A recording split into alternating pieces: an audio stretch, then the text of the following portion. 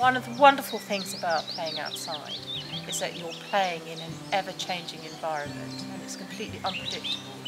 We started the Den Kit Company because we really wanted to encourage more children to be playing outside. And it came out of our work with Forest School in our school environment and seeing our own children and other people's children just thrive in the outdoors, just be free and you, you see a whole different side to children when they're outside. And their qualities come out, I think, you know, their problem solving, their planning, their contemplation. I mean, often we go and just find children just lying down under a tree and just being there for ages.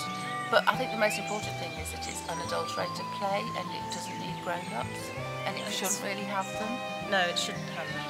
Uh, yeah, parents shouldn't really interfere with their children's den building Definitely not. or take over. Or take over and say, no, you need to do it this way. One of our biggest fears, I think, as a society, is that children are scared to make mistakes. We're taught all the time that it's not good. And of course, mistakes are perfect because if you learn from your mistakes, you develop resilience, you do things better next time, you grow into an adaptable person who hasn't got this very narrow path to go.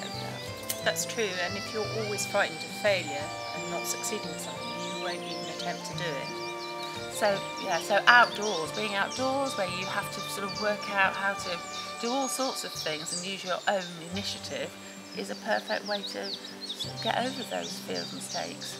And, and they're not really mistakes, are they? no.